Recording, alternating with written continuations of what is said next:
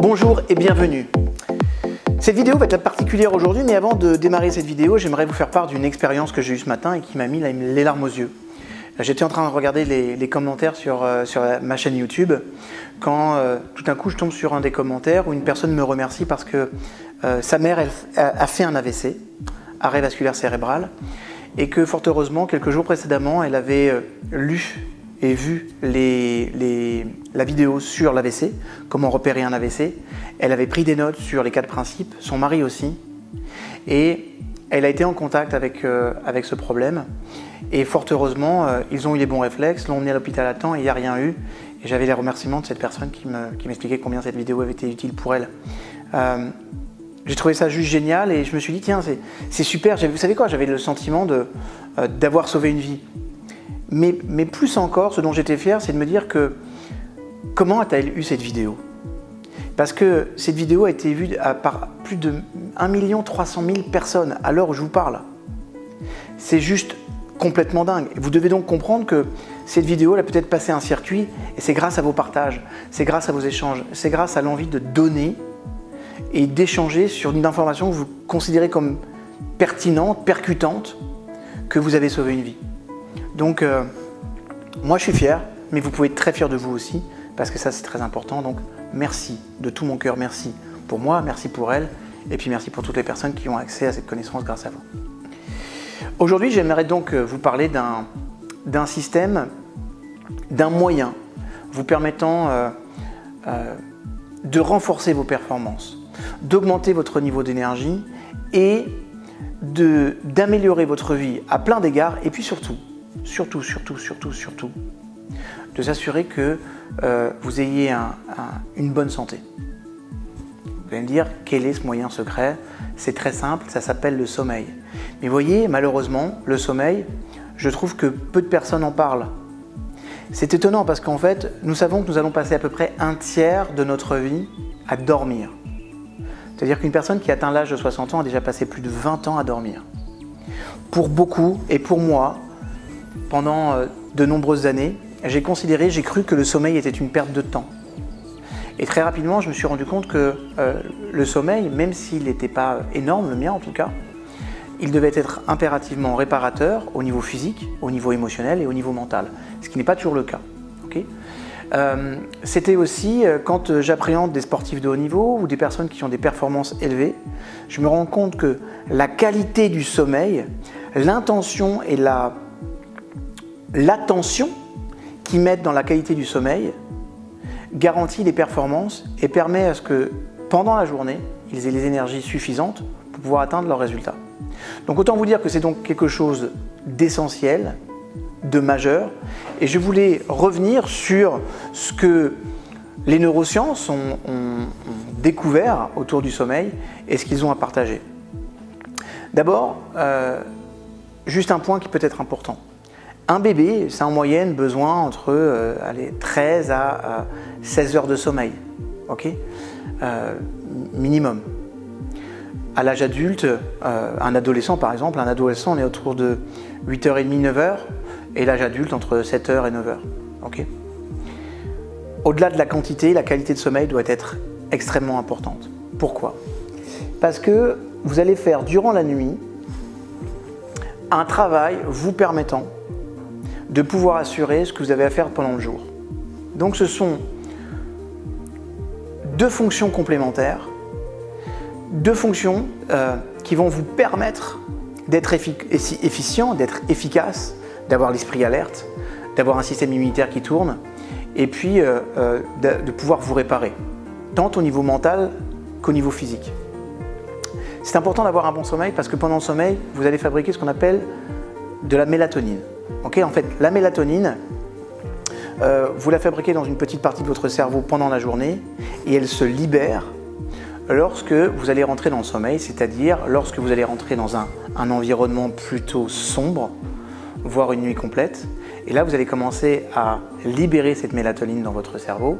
Et cette mélatonine va aider à la synthétisation et au développement d'autres hormones, comme notamment l'hormone de croissance.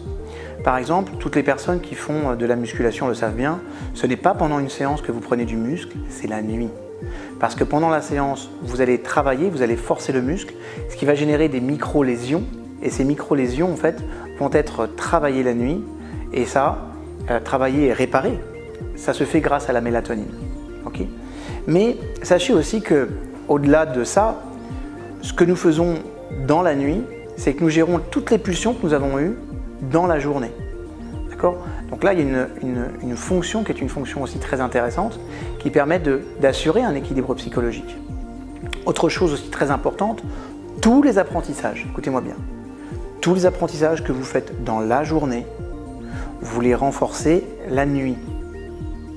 Je vous donne tout de suite une, petite, un petit PEC plus, comme diraient mes amis canadiens. Quand vous prenez des notes lors d'un séminaire ou euh, lors de réunions, euh, si vous relisez ces notes dans un mois, ça peut vous aider à, avoir un certain rappel. Mais vous n'allez pas mémoriser ce que vous avez appris dans la journée.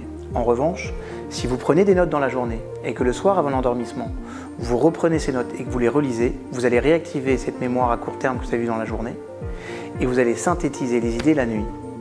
Et du coup, on se rend compte qu'avec ce mode de fonctionnement, la, mémoire enregistre quasiment deux fois plus l'information.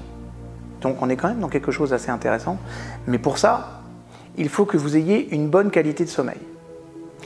Ce qui m'amène à traiter du sujet de la qualité de sommeil. Et pour traiter de la qualité du sommeil, il faut parler de quelque chose qui est très important, c'est la notion de cycle.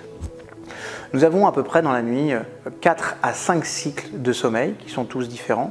Chacun va avoir euh, son objectif propre sa fonction propre, et chacun dure en moyenne aux alentours de 90 minutes. La première phase de sommeil euh, correspond, à ce qu'on appelle la phase endormissement. Vous savez, c'est cette phase dans laquelle vous commencez à bailler, la phase dans laquelle vous commencez à vous assoupir, la phase dans laquelle vous avez envie de vous étirer et surtout vous sentez l'appel du sommeil. La deuxième euh, phase de sommeil correspond à ce qu'on appelle le sommeil léger le sommeil léger, euh, en fait, dans cette phase-là, vous allez avoir un ralentissement cardiaque et vous allez avoir un ralentissement de votre activité cérébrale. C'est grâce à ce ralentissement cardiaque et à ce ralentissement d'activité cérébrale que vous allez commencer à, apaiser le flot mental. En apaisant le flot mental, logiquement, je dis bien logiquement, vous commencez à rentrer dans un sommeil et euh, vous allez commencer à tout simplement, tout doucement, vous endormir dans les bras de Morphée.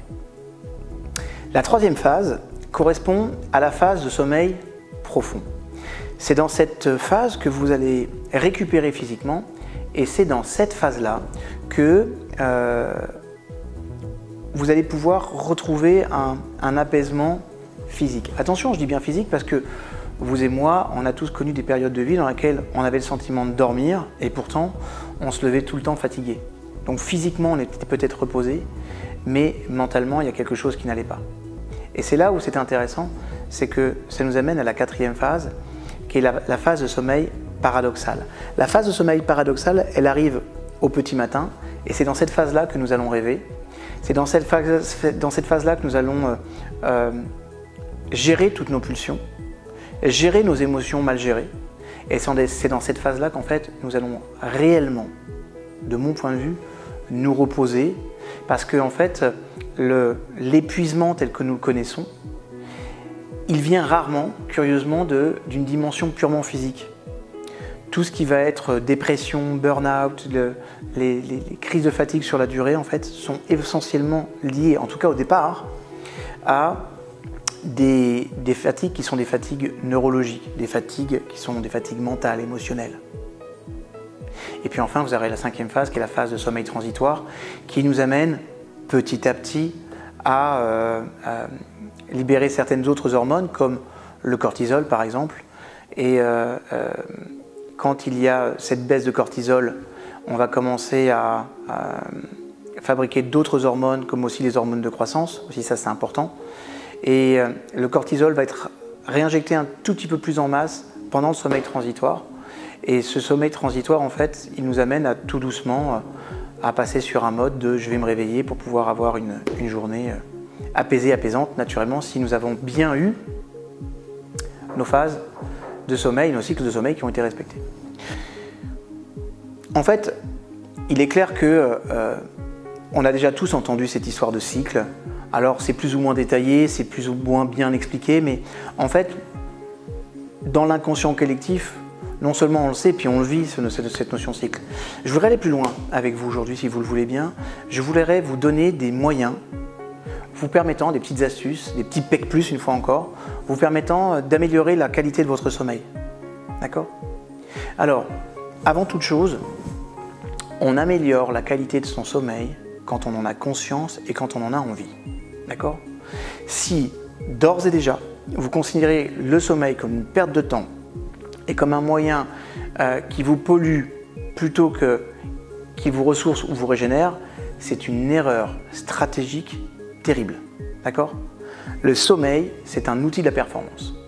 Considérez-le comme un outil de la performance. Une Ferrari, elle peut, elle peut taper à plein tube en Formule 1, elle doit s'arrêter au stand pour faire le plein et pour se ressourcer, pour changer les pneus, pour se poser et pour que le moteur n'éclate pas. Le sommeil sert à ça. J'ai un slogan qui est très important. Pour avoir une bonne vie, il faut avoir de très bonnes nuits. Je répète, pour avoir une bonne vie, il faut avoir une très bonne nuit. De très bonnes nuits. Donc, premièrement, ayez la volonté de vous attaquer si vous avez les trous des troubles du sommeil, si euh, le sommeil, la qualité de votre sommeil, c'est pas votre fort, désirez, ayez la volonté, fixez-vous cet objectif fort de retrouver une qualité de sommeil, parce que vous l'avez eu quand vous étiez tout enfant, tout bébé. Donc premièrement, il faut en avoir la volonté. Deuxièmement, c'est important d'avoir des rituels, des rituels qui vont vous permettre de favoriser l'endormissement. Par exemple, euh, on vit dans des sociétés dans lesquelles les ordinateurs sont présents. Moi, je fais partie de ceux qui arrivent et qui se font régulièrement disputer pour ça, à emmener leur ordinateur dans leur lit ou leurs iPads, qui n'est pas toujours les plus glamour. ok c'est important de lâcher l'affaire. Le soir, le lit, c'est fait pour dormir ou c'est fait pour s'éclater sexuellement, mais ce n'est pas fait pour travailler. J'insiste parce que si vous associez déjà le lieu dans lequel vous dormez à un lieu de travail, vous n'y investissez pas la même énergie. En termes de rituel, c'est important de savoir que quand vous allez dans votre chambre, c'est ou pour partager un très grand moment d'amour, ou bien pour dormir. J'insiste là-dessus. Alors ça peut être aussi de temps en temps pour faire une petite sieste. Attention les petites siestes, vous pouvez en faire dans la journée jamais plus de 22 minutes, sinon vous allez briser l'un des cycles du sommeil dont je parlais il y a quelques instants. Donc une sieste, c'est intéressant, ça ne doit jamais dépasser 22 minutes. Et on dit que le, temps idéal, c'est entre 15 et 19 minutes, jamais plus de 22. Donc je reviens, ce lieu doit être un lieu dédié au repos. ok? Autre chose qui euh, empêche l'endormissement et donc la qualité du sommeil, c'est tout ce qui va être lumineux. Donc les lumières fortes, c'est pas la peine. ok? À partir du moment où vous savez que dans l'heure qui va suivre, vous allez rentrer dans quelque chose qui est de l'ordre du sommeil, que vous allez vous coucher, c'est pas la peine de laisser les lumières à fond. Au contraire, on tamise et on commence à, à, permettre à nos cerveaux de s'adapter. Et on commence à, la mélatonine, à permettre à la mélatonine de tout doucement se libérer. D'accord? Grâce au putabène, dans laquelle ça a été fabriqué dans la journée, qui est une petite glande qui est située dans votre cerveau. Je continue. Autre chose, si euh, vous avez l'obligation, par exemple, de travailler ou de travailler sur votre iPad, au moins 45 minutes avant, arrêtez votre travail. Parce qu'en fait, la luminosité, comprenez que dès qu'il y a la lumière, vous euh, perturbez la libération de la mélatonine et la mélatonine s'arrête. Donc tous les bienfaits qui vont être libérés pendant la nuit ne se feront pas. Ok? Je sais qu'il y a des personnes qui me disent aussi, mais fin David, moi je ne peux pas m'endormir sans télé. Alors, c'est vrai que parfois la télé, pour certaines personnes, ça peut garantir une certaine forme d'endormissement. Mais faites très attention, parce que ça ne garantit jamais la qualité du sommeil. Et on est quasiment sûr du contraire, parce qu'on voit bien les, activités cérébrales de personnes qui sont en contact avec des sources de télévision fortes avant de s'endormir, et la nuit, ça a encore un impact. Autre chose aussi importante, c'est la qualité de ce que vous allez regarder le soir. Euh, il est évident que ce que vous devez comprendre, c'est que tout ce que vous allez avoir avant de vous endormir, sur la dernière heure, va en clair conditionner aussi beaucoup la qualité de votre sommeil.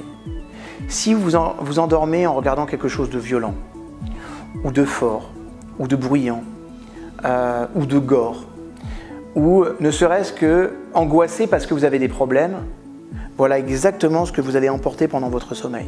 Et il est possible, il est même fort probable que votre sommeil soit perturbé. Je vous invite vraiment à faire un sas de décompression. Quand vous allez vous endormir, moi, je vous donne une des meilleures méthodes qui existent. Vous prenez un bon bouquin de développement personnel, quelque chose d'inspirant, qui vous tire vers le haut, une bonne lecture spirituelle. Et en fait, ça, c'est vraiment le meilleur moyen pour s'endormir, parce que vous allez faire rentrer dans votre tête, dans votre âme, quelque chose de très sympathique, de très doux.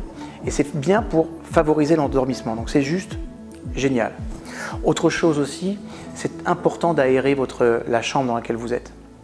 Donc au moins une heure avant, ouvrez la chambre et renouveler l'air qu'il est à l'intérieur. Vous savez, j'ai la chance d'avoir une, chienne qui est juste la plus sympathique et naturellement le soir on, se fait notre petite sortie euh, de routine pour faire les besoins. Et euh, c'est rigolo parce que à l'époque quand on m'a dit mais dis David c'est pas galère de sortir ton animal tous les soirs?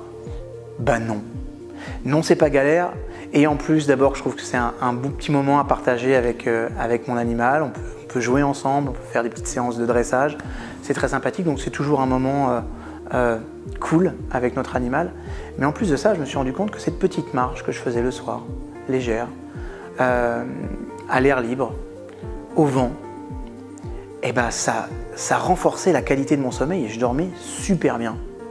Donc, merci à, à ce magnifique petit animal d'avoir changé ma vie aussi à ce niveau-là, parce que c'est quelque chose de plutôt favorable et ça nous encourage tous à naturellement avoir euh, des animaux. Point aussi très important, point aussi extrêmement important, la nourriture. Faites très attention avec la nourriture. ok? Le soir, mangez léger. ok? Manger léger, c'est très très très important. Si vous ne mangez pas léger, vous endormez le cœur lourd, le corps lourd, et ça a un impact parce qu'en fait, vous allez faire beaucoup d'efforts vous allez dépenser beaucoup d'énergie durant la nuit pour pouvoir éliminer tout ça. Manger léger, éviter les viandes rouges aussi le soir en termes de toxines, c'est dur. Alors, autre point, deux derniers points, et je vous promets, je vous lâche sur le sommeil. Mais c'est un sujet qui est tellement important qu'il mérite vraiment d'être creusé.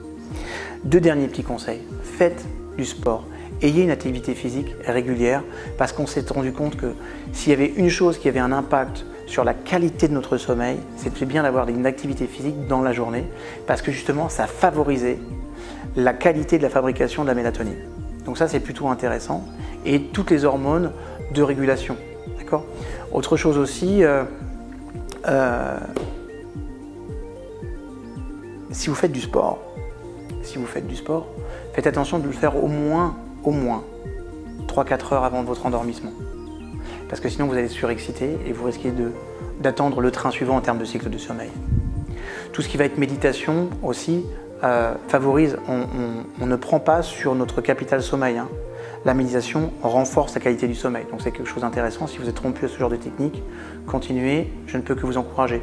Et puis enfin, enfin, le dernier petit, euh, petit détail, je ne suis pas un adepte euh, du lait, mais pour ceux qui aiment le lait, sachez que dans le lait frais, je vous invite à consommer du lait bio pour des raisons de santé. Dans le lait frais bio, vous allez avoir du tryptophane et le tryptophane, c'est euh, la substance qui va permettre de synthétiser la sérotonine et la sérotonine aide aussi beaucoup à la qualité de notre sommeil. Voilà, j'espère vous avoir euh, éclairé, vous avoir aidé. Naturellement, tous les 10 ans, changez votre literie et investissez dans un bon lit parce que c'est toujours un investissement intelligent pour le corps et pour l'esprit. Merci beaucoup. J'espère que j'ai rien oublié. Si j'en ai oublié, pardonnez-moi. Partagez, likez, donnez-moi vos commentaires. Je sais que ça ne ressemble pas à ce qu'on pourrait attendre du développement personnel et pourtant, je peux vous jurer que la qualité de votre sommeil, elle, elle induit énormément dans la qualité de votre vie. Et je vous rappelle, pour avoir une vie réussie, il nous faut de très bonnes nuits.